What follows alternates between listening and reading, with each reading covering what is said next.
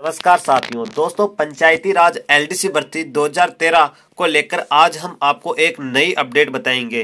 क्या पंचायती राज एलडीसी भर्ती 2013 10 साल बाद में होगी पूरी या नहीं होगी? और आज की जो न्यूज़पेपर की कटिंग है तो साथियों, में आज की आपको दैनिक भास्कर की न्यूज़पेपर की कटिंग बताऊँगा, जिसमें पंचायती राज एलडीसी भर्ती 2013 का मुद्दा एक बार फिर से गर्म हो रहा है और जो विद्यार्थी अब 10 साल हो चुके हैं और अभी भी उतनी हिम्मत और साहस के साथ इस भर्ती की आवाज़ उठा रहे हैं। उन सभी विद्यार्थियों का हमें ज़्यादा से ज़्यादा साथ देना चाहिए और दोस्तों, पंचायती राज एलडीसी भर्ती 2013 को पूरा करवाना ही होगा, क्योंकि पंचायती राज एलडीसी भर्ती 2013 के बाद अभी तक एलडीसी की सरकार के द्वारा कोई वैकेंसी नहीं करवाई गई है। 10 साल हो चुके हैं इस भर्ती प्रक्रिया को करवाने के लिए। वर्ष 2011 से 2013 के बीच में तीन साल में एलडीसी की दो बार भर्ती हुई थी। और वर्ष 2011 में 1716 पदों पर और फिर एलडीसी 2013 के लिए सात पदों पर भर्ती करवाई जानी थी।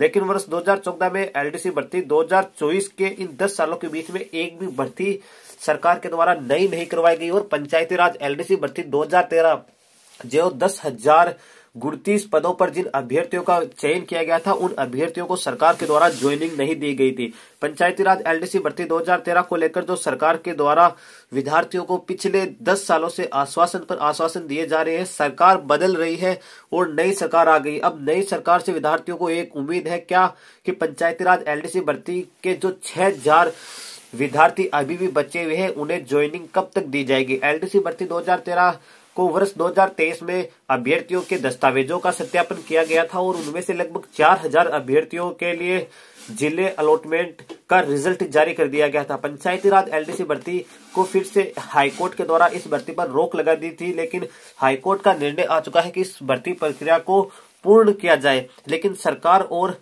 कार्यकालों के अधिकारियों की शिथिलता के कारण यह भर्ती पिछले दस सालों से लंबित है और इस भर्ती प्रक्रिया को पूर्ण करवाने के लिए बेरोजगार विद्यार्थी काफ़ी लंबे समय से इस उम्मीद में बैठे हैं कि पंचायती राज एलडीसी भर्ती 2013 पूरी होगी।